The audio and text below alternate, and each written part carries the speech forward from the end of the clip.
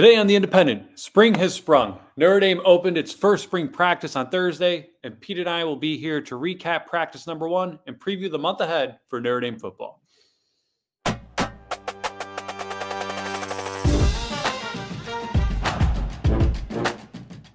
Welcome to the latest episode of The Independent. I'm Pete Sampson in South Bend, joined by my co host Matt Fortuna in Chicago. Uh, Matt, one practice in the books. Um, all answers were revealed as uh, Notre Dame went no pads, uh, but a lot of roll call, a lot of first impressions, and I think uh, there are a lot of things that struck me watching Notre Dame's practice on Thursday morning. But one is just like the volume of new faces that popped up, whether that is early enrollees uh, or grad transfers there's a lot of new material for Notre Dame to work with and Notre Dame's coaching staff to to try to get in the right spots.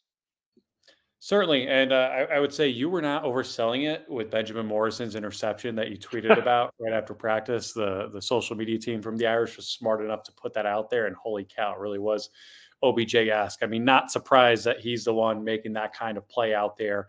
Uh, but but certainly a, a, crucial spring, and you know I think spring ball sometimes can be a little bit overrated. It's not always as telling or predictive of what's to come in the fall, and you know I think it takes on different meaning in this portal era. But uh, we don't need to go over how important year three is for Notre Dame head coaches here. We know that this one in particular, with the way the schedule's set up, with the way the new playoff is there, and with the expectations that are there for Marcus Freeman and Notre Dame along with all the the number of new faces that are going to be expected to expected to contribute from week one, I think is very very important. You got four quarterbacks there. I think we all know who's going to win that job, but how it shakes out between now and the end of spring and what happens post spring is absolutely worth monitoring. You have an offensive line that's been the backbone of this program for so long that has a lot of talent and has a lot of talent that got a lot of late season experience last year, particularly in the bowl game, but but is going to have to come along very very quickly in replacing a couple of draft picks. And you've got, you know, at least from what Marcus Freeman said in his press conference after practice, um, I don't think he was overselling it when he was talking about the new receivers. He sounded pretty matter of fact as far as this is a different breed than what we've been accustomed to here the last two years. It's uh he was right. I felt the same way. Uh, I think you know when I walked out of practice, the guys that you know you always have like, all right, who who impressed me um, in this workout, and that can be a starter who took it to another level. It could be a new guy that um, you know you hadn't seen before, who impressed. But aside from Benjamin Morrison, um, you know that that obviously jumped out. How could it not? But beyond that, it was very, very heavy based with wide receivers, and that I mean, there's those are different guys. Um, I mean, Chris Mitchell and and Jayden Harrison were impressive to me in a way that I, am not sure that I would have expected out of the gate. Uh, Micah Gilbert was impressive to me in a way that I think it was expected. Um, you know, in terms of an early enrollee, but it's you sit. It's kind of one of those things where you, you walk out of the practice and be like, all right, Notre Dame's receiver room added somebody from Florida International and Marshall, and they got a lot better. Exactly what did Notre Dame have at wide receiver last year? Uh, it it makes you sort of retrospect look backwards and be like, wow, that group was farther off the pace than maybe I even would have thought because we all knew the receiver room was down last year. But man, um, to see, and, and maybe we shouldn't be surprised because the year ended with a lacrosse player being the West, best receiver on the team. But um, the the position had a long way to go to get up to just Power Five level. Uh, but I think what we saw on Thursday morning made me feel like they're definitely Power Five level, uh, and they have some guys that can go out and make plays. Yeah, I mean, it was. I feel like maybe become a little too used to uh, Notre Dame just not being all that great at wide receiver. And I think that overlooks the fact that they were really, really bad Marcus Freeman's first two years. Coincidence or not. I mean, yeah, uh, you mentioned Chris Mitchell, FIU. I know the competition level is different than what he'll be facing at Notre Dame, but the guy had 64 catches for 1,118 yards and seven touchdowns last year. Um, that would have been about three times as much as Notre Dame's leading receiver last year uh, among the wide receivers. Uh, Jayden Harrison, 28 catches, 410 yards, one touchdown, plus two kick return touchdowns. Uh, I, I, went back. Notre Dame's leading wide receiver. Again, tight ends have been pretty damn good there. Leading wide receiver. They haven't had one come back, a leading returning receiver come back to the program uh, since Equanimeous St. Brown came back after 2016, and he led them again in 2017. Mm-hmm. Last year's leading receiver was Rico Flores Jr., 27 catches, 392 yards, one touchdown. Before that, Lorenzo Styles, 30 catches, 340 yards, one touchdown. For that, Kevin Austin, who uh, 48 catches, 888 yards, seven touchdowns. Again, you see a huge difference between, and again, I'm not saying there's a line of demarcation between how Brian Kelly and, and Marcus Freeman recruited this position or how they had their coaches coach the position, but there is a serious drop off from the post BK era on. And it wasn't anything to write home about, I think, for the most part during the BK era. Javon McKinley before that, 42 catches, 717 yards, three touchdowns. Chase Claypool obviously is the one that really stands out as a, a, a bona fide mm-hmm. stud in 2019. Six, uh, 66 catches, 1,037 yards, 13 touchdowns. And Miles Boykin the year before that, they made the playoff, 59 catches, 872 yards, eight touchdowns. Again, I think that position got highlighted because in those later years, we're talking about two of the last four Brian Kelly teams that made the playoff and you saw the difference in that playoff. It was Clemson's wide receivers, it was Alabama's wide receivers and skill players, and you think, wow, that's where Notre Dame really has to at least try to close the gap, and they've gone completely in the opposite direction. Um, the last two years, and they're well aware of that. They've made changes inside and outside, and uh, you know the two guys they brought in who were there at spring, I, obviously are, are making an early impression. Marcus Freeman's exact quote uh, was quote they can run. I saw more deep balls caught in this practice than I've seen in a long time. End quote. I take him at his word with that. Uh, and then it's also interesting. Bo Collins was at practice um, in a you know viewing role. Rod Heard, the Northwestern transfer, both those guys um, will not be eligible to actually practice with the team uh, until the summer when they're enrolled. I was unaware, and I don't know if this is new or if this is just kind of business as usual now in the portal era, that they're enrolled at Clemson and Northwestern, respectively. They're presumably taking online classes. I guess Rod Heard could be correct. Yeah. both, um, but they're allowed at. They're living in South Bend. They're attending Notre Dame's practices. They can view it, and they're essentially full-on members of the football program while doing their schoolwork elsewhere. Not not a bad deal, I think, for both sides. No, and I mean they are limited. they can't participate in team activities, so it's okay. it's more like they're like can they sit in film? They can't sit in film. Super room? assistant GA types. Um, yeah, I think they can like observe meetings, like it, but it's not like there were injured players at practice or banged up players who are limited, and they're they're in jerseys and running around. Like Bo Collins, you would have thought was like a GA um, at at first, because at first I was like, is, "Who is this new GA?" I was like, "Oh, it's Bo Collins."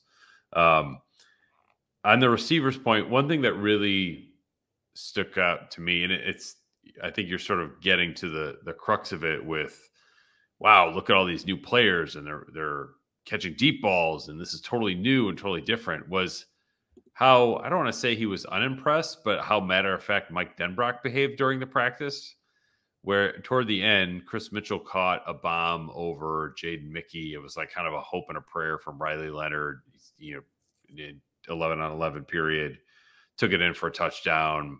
Offense goes nuts. Everyone's celebrating, and Denbrock's like, I think his direct quote as he was yelling was next play, next play, that's just what we do.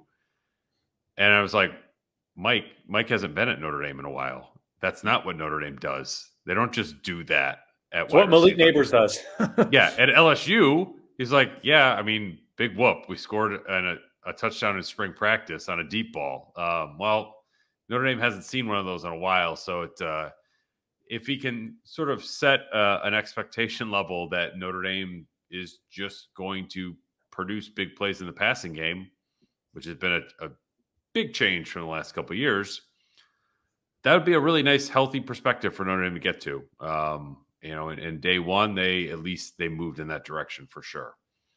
Absolutely. Um, again, with the, the, question marks, I use air quotes with that for the offensive line. I, you know, I, Audric Estime's gone. It's obviously going to be a big loss, but I'm not too worried about the running backs as a as a whole. They've got at least three capable guys there. Devyn Ford moving over to safety, I thought was was newsworthy, a bit of a surprise. I think that's a guy who uh, I, you got a better look at him obviously than I did being at practice today. But I don't know if you saw that one coming or not, or what his expected no, role is. I think that the defensive backfield.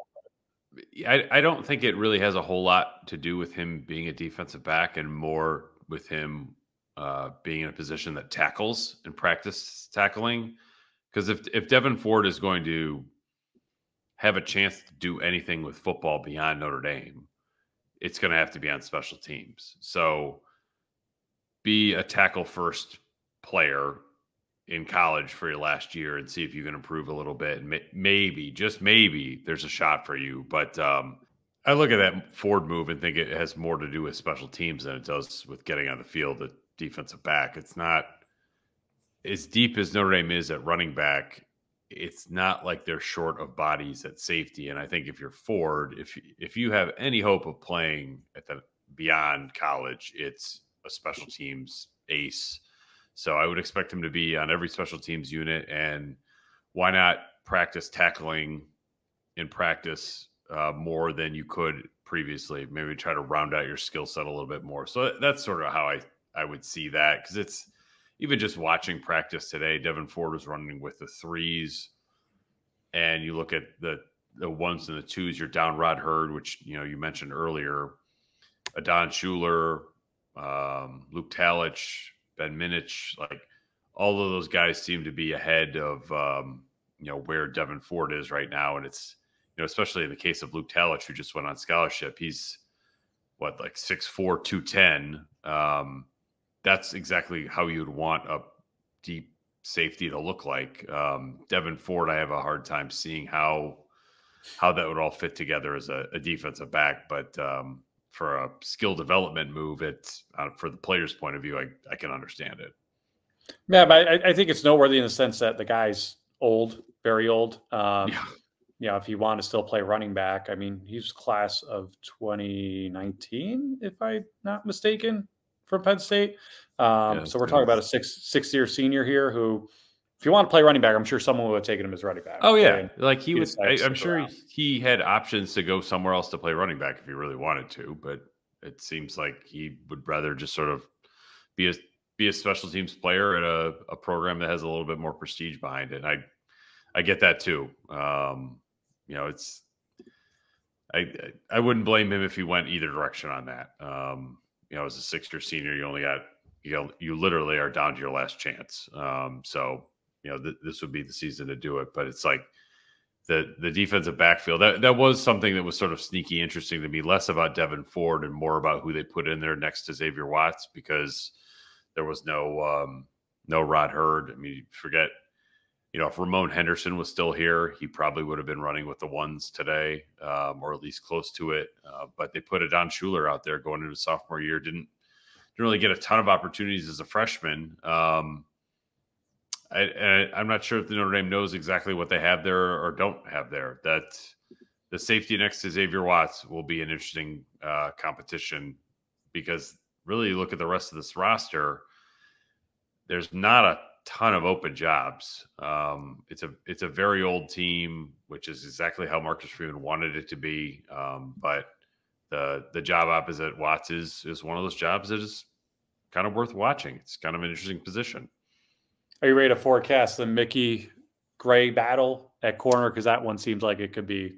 Yeah, I I'm partial towards Gray. Um, I just think the way he's put together is more like how you would want a corner to be put together. You know, with extra length. Um, I mean, Mickey is explosive athlete, um, but I feel like I see in very limited viewing Gray make more plays, uh, and if that's we'll see how that shakes out. They need both of them. Um, you know, Jordan Clark, the transfer from Arizona State, uh, Marcus Freeman sort of already anointed him as the number one nickel, but he was slowed in the first practice by some quad uh, soreness. So Clarence Lewis got some work there, and then Micah Bell was the third. Um, but I, you know, the Gray Mickey job, my hunch would be Gray, but I could I could see Mickey holding on to that as well um, if he takes a step forward.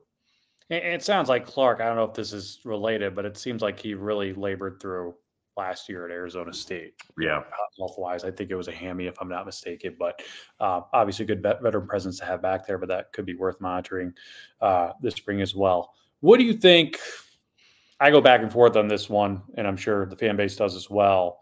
And again, we're talking one spring practice ends. We're not basing it off just this. But if you're projecting out the best position unit on the team, I mean, I, I think most reasonable minds would say D line or DBs. Um, I'm probably a little partial to the DBs, maybe because I don't know. I just feel like we're a lot more used to seeing great Notre Dame defensive lines, and we are great Notre Dame defensive backfields. And I think maybe my mind is just not used to that, and I'm more surprised and impressed by it. Mm-hmm. I also think, candidly, you're you're.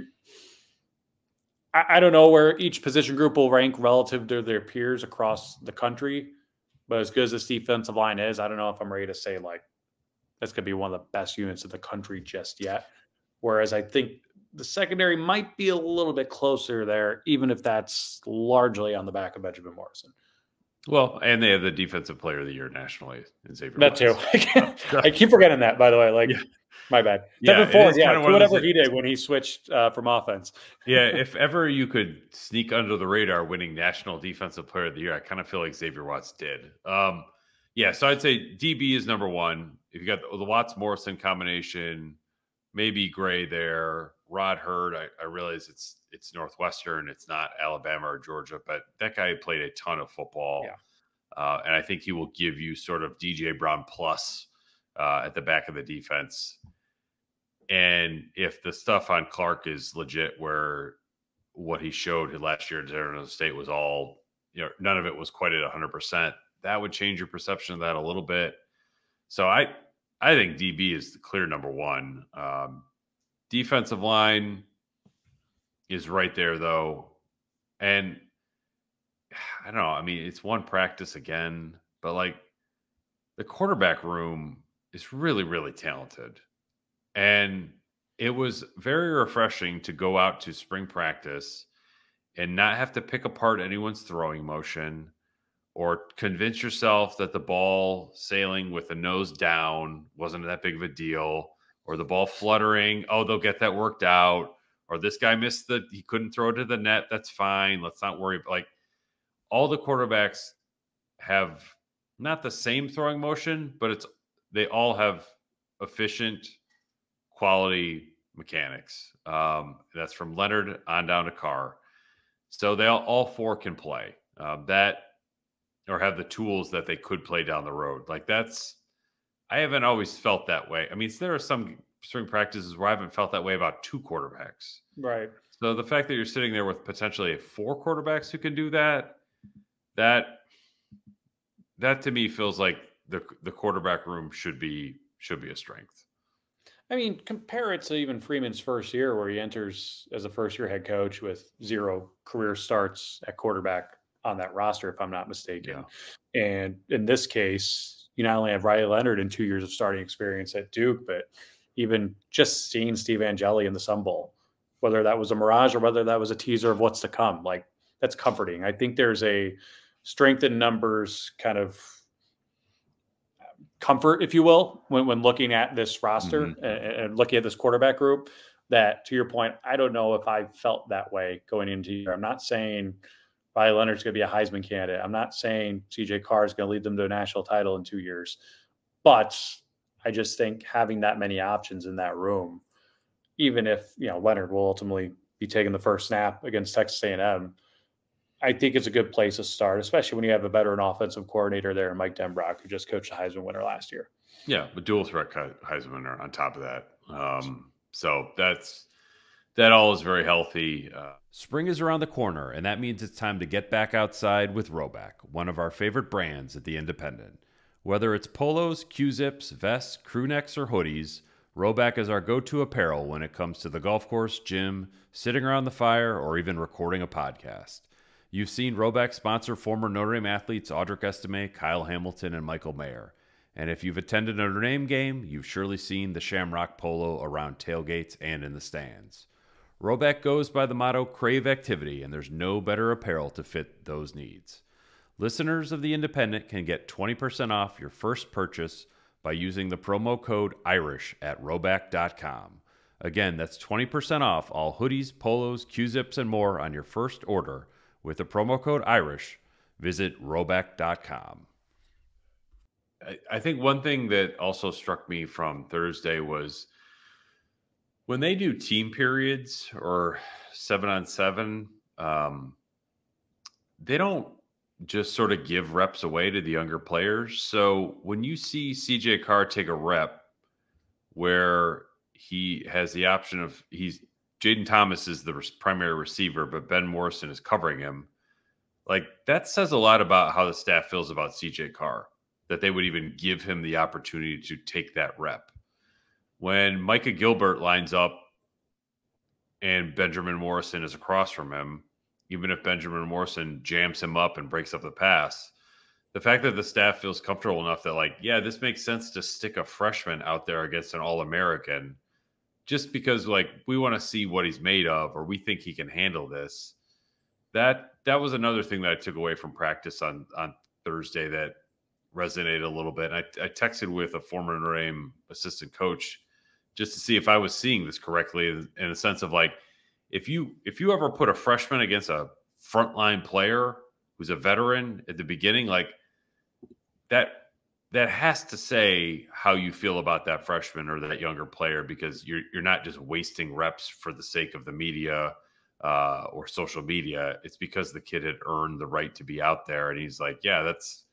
I don't know how they would do it, but like that's exactly how I would see it. If I'm going to stick a quarterback out there against an All American DB, that means that quarterback has to be able to hold up on his own. Um, you know, this is it's not a you just don't get participation reps because you're here. You have to earn them. And I thought that Gilbert and Carr in particular felt those look like guys that were earning their earning their reps very early on uh, in spring ball. One other note that I feel like is worth mentioning, just because it was such a big offseason talking point, as brief as the offseason was, and I, I texted some some people in the Goog the day before spring open. I I asked, "Is Riley Leonard full go?" And they said yes.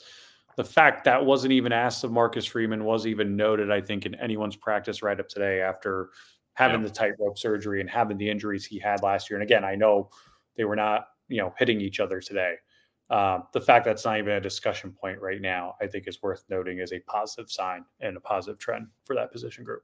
Yeah, that was.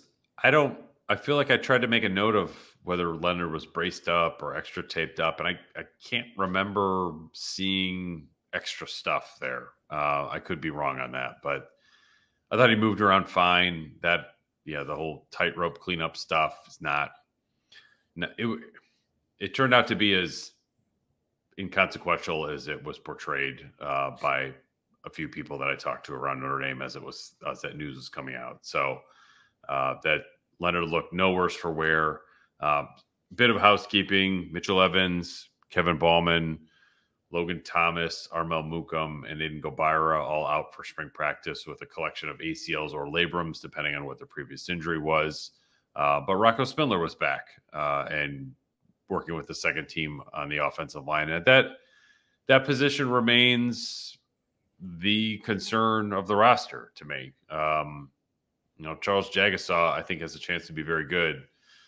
Tosh Baker got beat a couple times by Jordan Botelho uh, in sort of speed pass rush moves on Thursday, and like that's that's the spot of the field where I just like, okay, are they going to have enough to hold up at A and M that even though they've lost a ton of guys to the portal, it's still a very talented defensive line. Um, I think that's sort of a remains to be seen position for me, and I'm not sure that it will get figured out during spring practice. Marcus Freeman seemed optimistic that you know they'd be able to settle on five guys. I think the five guys who were with the first team today will be the five guys who were with the first team in College Station on Labor Day weekend. Um, but that position, they're they're going to have to sort of, I think, develop and improve what they have on the roster because I'm not sure there's help coming in the transfer portal the way that it has at other positions. Yeah, I was going to ask you. I mean, as there, there's getting it settled out as far as getting this group ready for week one. There's mm-hmm. getting it settled out as far as establishing your top five. I mean, right guard's the only one that's really up for grabs. And I mean, do you think? I'm not saying it's not going to be a competition. Rocco Spindler obviously has a lot of some starting experience, but the staff just seems very, very high on Billy Schrauth right now. And with Spindler coming off the injury, I mean, I wasn't surprised to see Schrauth out there with the ones, but I do wonder if they'll mix and match a little bit in the spring while they have the time, just to give each other a fighting, each guy a fighting chance. Yeah, I I don't know it. I, I'm sure that they will sort of spread that wealth around a little bit. I, I wouldn't be surprised if Aamil Wagner got some reps at one of the tackle positions to sort of force the issue and see like, all right, can you can you give us an alternative to Tosh Baker if we need it? Um, but the rest of it, I think Marcus Freeman noted probably six, seven, eight guys in competition to, to start. I think that's probably more like six realistically, with right. Spindler being the sixth guy. Um, you know, Spindler would be a very valuable part of the offensive line, but this year may just be more in sort of backing up two or three positions depending on what Notre Dame needs. So I, I think that the the offensive line overall that is going to be a work in progress for a while. I think Notre Dame knew that coming into spring practice. Not not going to change on day one. That's fine, um, but that position will probably need a, a lot more refinement and development moving forward. Am I wrong in that? At least my concern, and I think most people's concerns, are heightened by the fact that Week One is on the road, probably in prime time in the SEC, where it's going to be easily the hottest conditions any of these guys have ever played in in their life. Like for that group to be fully in sync in that environment. I know we both talked to people who have said that's one of, if not the hardest places to coach and play, regardless of however good or bad A&M is in a given year. I just think the sense of urgency around that position is at an all-time high right now because of the challenge they're facing in week one. Uh, I there's a lot to that. Um, I mean, I think back the last time Notre Dame had more of a developmental offensive line was 2020, um, where they moved a bunch of pieces around. The position really struggled. Uh, they ended up going to Virginia Tech. I'm sorry, 2021. Um, I think that that was the year they went to Virginia Tech and sort of that Kevin Austin, Jack Coan, they replaced him with Tyler Buchner. Like oh, Buchner, you, you, yeah. You saw when when you have an offensive lineman that can't hold up you saw how the entire offense collapse, can collapse. Um, so yeah, that that is a big concern for me going to Texas A&M. Um, you know, Mike, but I do think the experience of Mike Denbrock should help. He's he's called plays in Kyle Field before. They, they lost when they played there, but he should know what that environment is going to be like getting into it. So there in theory it shouldn't be as big of a shock as maybe some past huge Notre Dame road moments have been. What I, am thinking at Georgia 2019, when it was just like a false start marathon for a while. Um, but yeah, the the offensive line, the urgency to sort of get that down and get that down with a new quarterback, get that down with a new play caller. Um, that probably won't be heightened until training camp begins, but it would be good for Notre Dame and good for Riley Leonard if they came out of the blue gold game and be like, all right, we know who our first five guys are. Now get to work over the summer. We'll see you in August where we can pick up where we left off. That would that would be a significant win, I think, for the group this spring. George is probably the, the app comparison. I had 2017 Miami in my mind, just as far as oh, an environment yeah. that they just were not prepared for at all. Not that I think this game would be a blowout either way, but you know, as far as just this is not a game they normally play. When's the last time they played on the road? Well, Georgia, obviously, but other than that, even even the Georgia game, though, I mean, they were pretty substantial underdogs going into that one. Yes. I think the disappointment in that game was, wait, they actually had a chance to win this, and they kind of shot themselves in the foot, you know, with uncharacteristic mistakes on that stage. But I, I just think the environment and the magnitude of, of that opening night, presumably game, is um, it just adds a sense of urgency to a position group that hasn't had a whole lot of it outside of 2021. No, it's I mean, look, Notre Dame playing well on the road is something that Marcus Freeman really hasn't figured out. You know, in his two yeah. years, it's not. You know, it, it's not just been like terrible all the time. I mean, they went to North Carolina and won. They played well against BYU and won, but you know, USC the end of that first year, um, Louisville, Clemson. I mean, even, I would even hold up the Duke game as an example of oh, not playing well on the road, even though they won it. You know, North Carolina State was kind of a weird one last year uh, with the weather delay, but I, yeah, that offensive line is they're going to have to prove a lot. Marcus Freeman's going to have to prove a lot, and I mean the way the schedule shakes out, I don't know if this is one of the years where ten and two is going to make it. So if you can Right. if you can go get the win at Texas A&M, in theory, you should be in excellent shape to make the college football playoff the rest of the way because I don't see a game on the schedule until who knows what Florida State will look like in November. Who knows what USC will look like at the end of November? Um, to me, Texas A&M is the toughest game on the schedule, and it, and and yet it's also one where I feel like Notre Dame has a very very good chance to win it. Completely. I, I would add Louisville to, to possible trap games just because you can't over, not trap Yeah. games, but games they could lose because you can't overlook them after last year. But again, Louisville's I, I'd be surprised if Louisville's as good as they are last year. I've I'd be shocked if Florida State's as good as they are last Yeah. year, and both those games are at Notre Dame Stadium. So uh, it's not something I'd be losing sleep over just yet. A couple housekeeping notes. Marcus Freeman mentioned some of this we knew, some of it uh, less so. Deland McCullough added associate head coach title to his running back coach duties. Mike Mickens is now a DB's coach.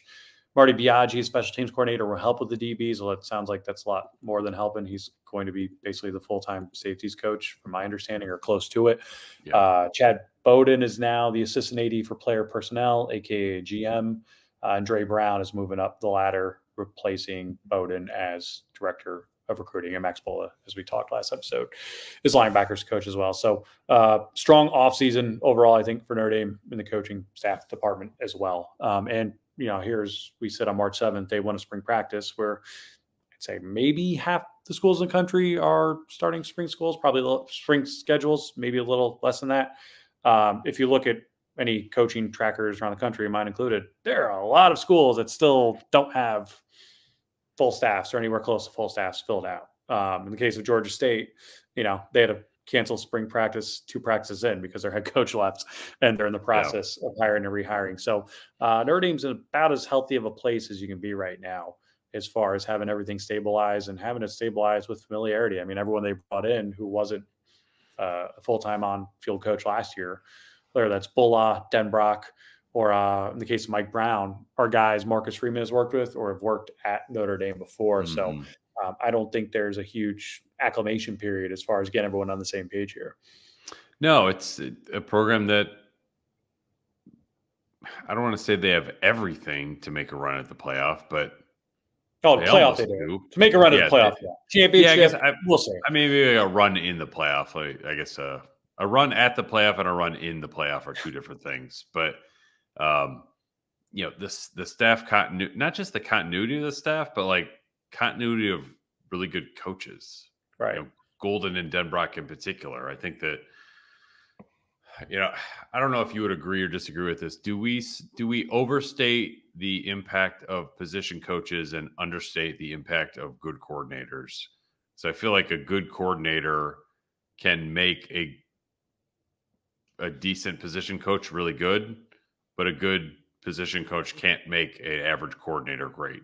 And I think that Notre Dame has like borderline great coordinators at both both ends, and I think that will serve the rest of the staff really well. Um, you know, it's it's not that they don't have good position coaches. I think McCullough is excellent. Al Washington very good. Mike Mickens, of course.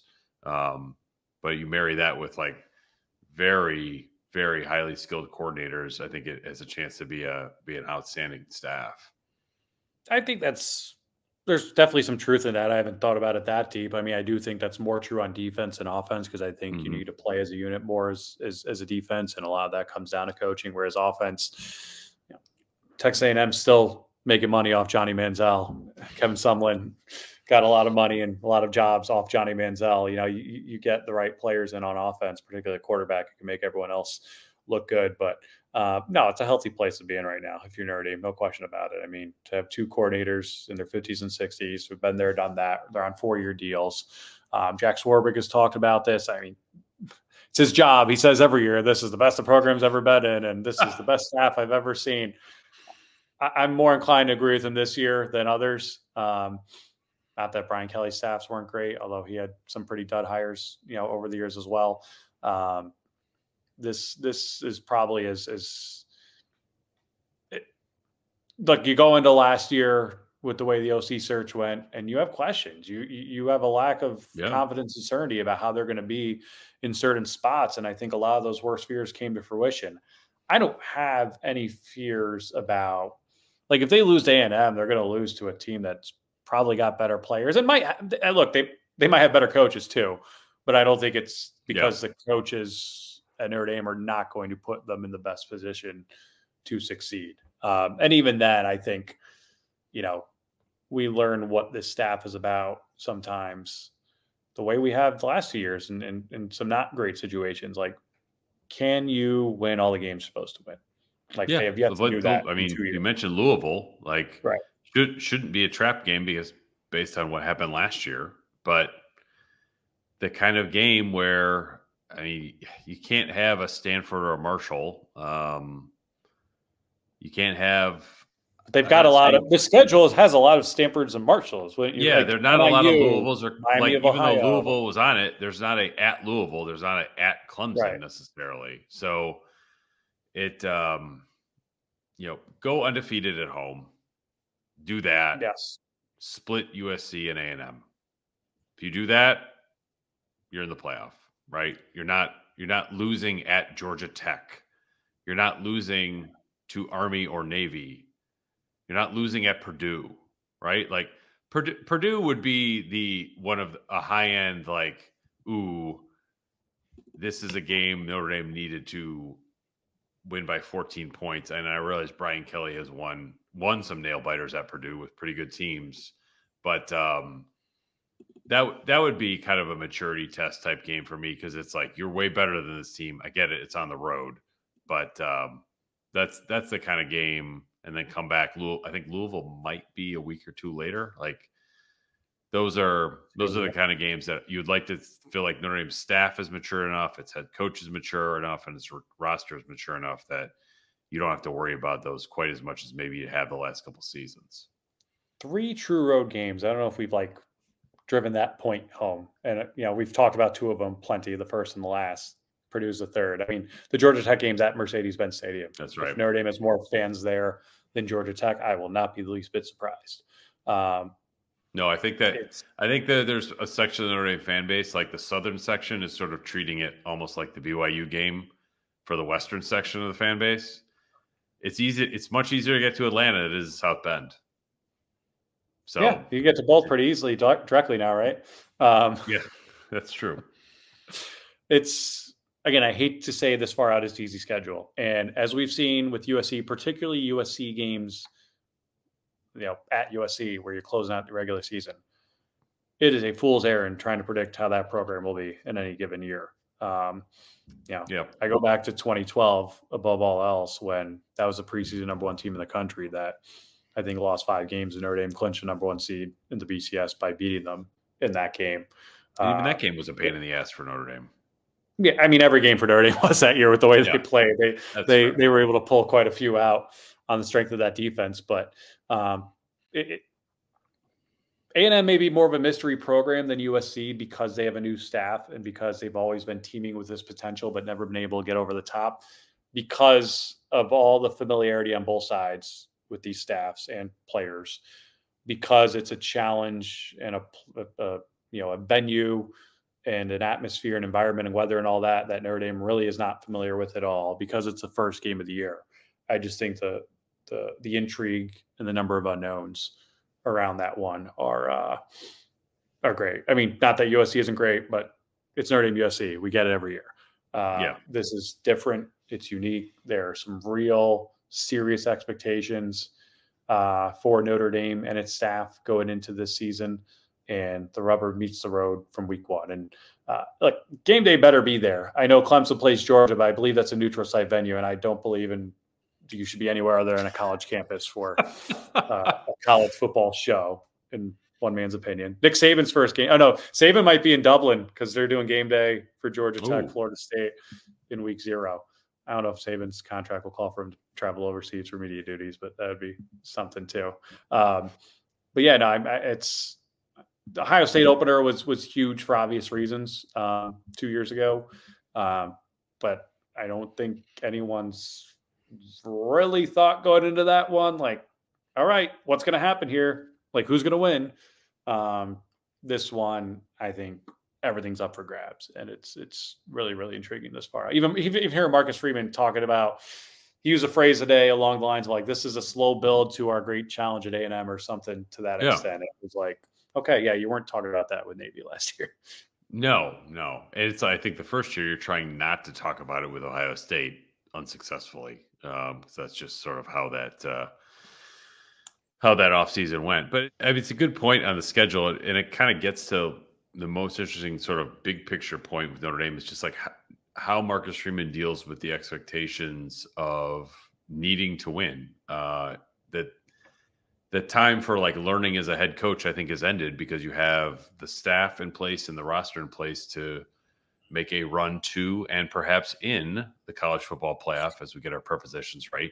Um, because he just he just hasn't had that kind of pressure yet here. And I mean, even go to it's it's that time of year at the athletic where Stu Mandel and Bruce Feldman put out their top 25 coaches. Marcus Freeman isn't on it. Um, because he He wasn't eligible though. yeah, he doesn't have a track record to be on it. But I think in Stu's mailbag, somebody asked like, "Why no Freeman?" And he's like, "Well, it's kind of a little bit of a career achievement, a little bit of you know winning at the highest level." And he said he struggled with you know Dan Lanning where to put him on there. Well, Dan Lanning won, has won a conference title. Uh, he's won a major bowl game.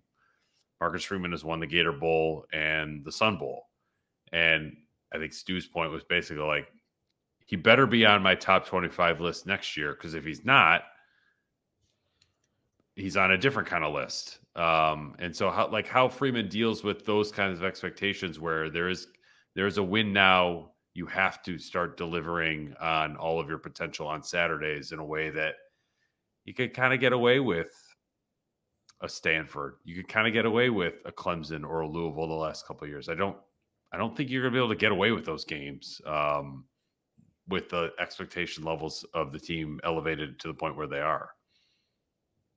Yeah, actually, Bruce Bruce put Feldman put the disclaimer he won't put anyone year three or younger in there, Okay. and Stu actually had Dan Lanning in his. But yeah, I mean, it's I, I wouldn't expect him to be on there just yet. I do think Dan Lanning's accomplished more through two years. I I personally think he's a little little overrated. Um, 0 and 3 against his rival, being in Washington, being favored twice, but that's neither here nor there. Um, it, it it all adds though to the, the just kind of the fascinating undertow of this season and how this administration is completely supported uh, Marcus Freeman and this football staff. They seem to be all in in a way that at, at the right time, where again the 12 team playoffs going to be very very conducive to Notre Dame competing for national championships every single year. And I think in this year in particular, it should be a playoff or bust kind of campaign, especially with the schedule that's put in front of them.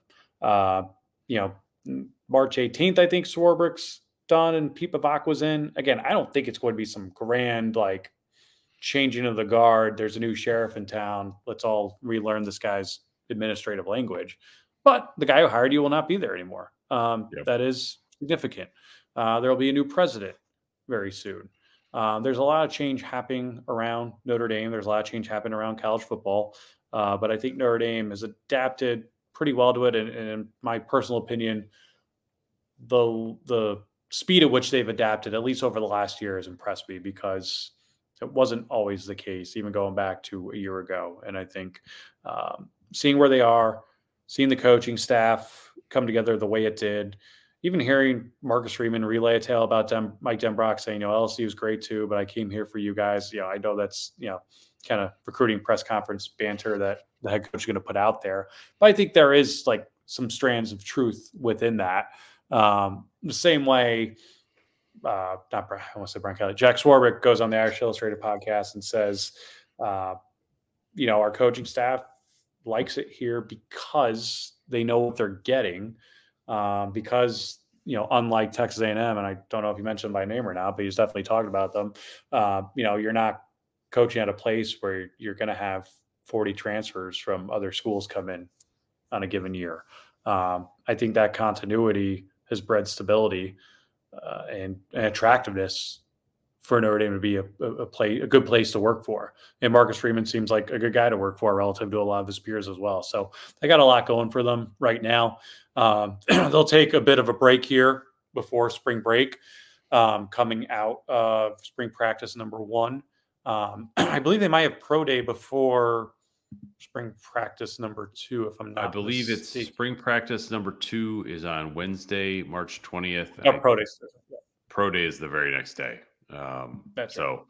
yeah, Notre Dame on, on a bit of a hiatus. I will be uh, taking a bit of a well, I'll be t- a work trip next week where um, I think on the Athletic, hopefully we'll, we'll be get three interesting stories uh, from the states of Alabama and Mississippi. I'll let people fill in the gaps of what those stories might be, but um, should be some interesting travel. Matt, I'm not sure what uh, you're working on on the inside zone these days, but uh, anything sort of got your attention as spring practice gets rolling? Yeah, just spring practice around the ball, uh, around the, the, the globe, calling as many people as possible, just seeing what's what and putting together the final pieces of, you know, whatever remaining staff holes are out there across the country. March Madness obviously coming up. Micah Shrewsberry got a win right after coming on our pod over Clemson. We'll ignore what happened in Chapel Hill a few nights after that. Happens to Um, anybody. Happens I to the best of us I- in Chapel Hill. What's that? I'd say that happens to the best of us in Chapel Hill. Uh, I I was unaware until I saw a story in the Boston Globe today that Brad Stevens' kid is walking on at Notre Dame next year. Um, and considering I'm host hosting this podcast with the biggest Brad Stevens stan in the world, I'm shocked that did not make our way into our conversation with Micah Shrewsberry um, when he was on last week.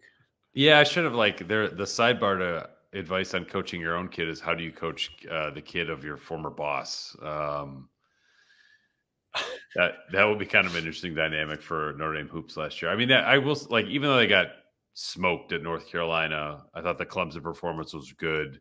Yeah, Brad, Brad Stevens' son, uh, Notre Dame hoops is the place to be for NBA general managers and executives' kids. Um, it's yeah, it's and I it was nice to see that there is a chance Notre Dame could still make the NIT even with a losing record. The the sort of selection process has changed a little bit there, so curious to see see them in the ACC tournament, however long that lasts. But uh, whatever success they have, obviously we'll put that down to Micah getting a independent bump. We'll end it on that note. Positive basketball, positive football. Uh, he's Pete. I'm Matt. It's a pleasure speaking to you guys as always. We'll be back. Us, we'll see about Pete with his road trip, but we'll be back hopefully next week. We should have another pretty special guest joining us uh, to talk about Notre Dame at large uh, before the Irish return in a couple weeks after spring break to resume resume spring practice. So for Pete, I'm Matt. Thanks as always for listening to us on the Independent.